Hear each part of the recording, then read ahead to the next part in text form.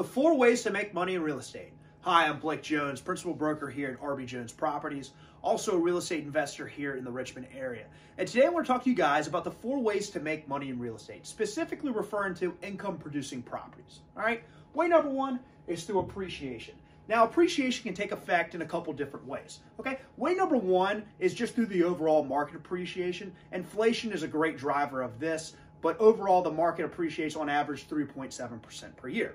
That's way number one. Way number two is through forced appreciation. Now, forced appreciation occurs when you identify and acquire property that is well under market value. You go in there, do the improvements to the property, do the repairs, get it up to speed, and get it up to the current market value, okay? That difference there, all right, that difference is your unrealized gain. That is the forced appreciation in that aspect. Way number two is through debt paydown. Now, debt paydown occurs when you acquire properties with the usage of leverage, okay, and you place debt on the property, all right, because you have a tenant in this property paying you rent every single month, okay? Now, a portion of that rent you're going to go and you're going to pay your mortgage with, all right? Now, every single month, all right, a portion of that is going to pay down your mortgage liability, okay? Lowering, all right, your principal balance every single month until the property is paid off to zero balance. All right, that is how debt pay down occurs, okay, with, through income producing properties. The number three way to make money in real estate, and probably my favorite, is taxes.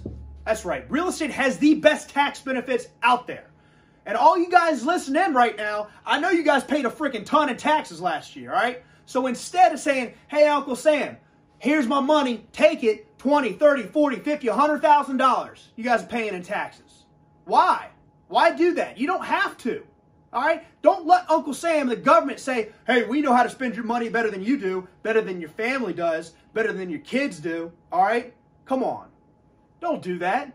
Just buy real estate. You guys remember in 2016? I know Trump. I'm bringing up Trump. All right? But here, who cares? Everybody's raising hell about Trump not paying any taxes, and he got up there and says, I don't pay taxes because I'm smart. He's true. All you got to do is buy real estate. That's it. Let's go over a few things that you can deduct when you own real estate, all right? You can deduct all your repairs, maintenance, management fees, all right? Your insurance, your interest, your taxes, all that good stuff. But then the holy grail is depreciation. So you get to depreciate the property, the improvements only, over its useful life of 27 and a half years. Now be mindful, these are paper losses, so these aren't actual losses, but you still get to deduct them. All right? Unfreaking real. You can take paper losses that aren't even real. All right? And the beauty about this is you can become a real estate professional and use that other money to offset your earned income. So you could be a real estate professional and working over here at Capital One and using that money, once you've eliminated your rental income tax liability, you can go and offset your Capital One money. Unfreaking real. You guys could be going to work saying, how much you guys pay? No, I don't pay anything in taxes. I own real estate. Solves everything. Real estate solves everything. I don't know how else to tell you guys, all right? Buy real estate.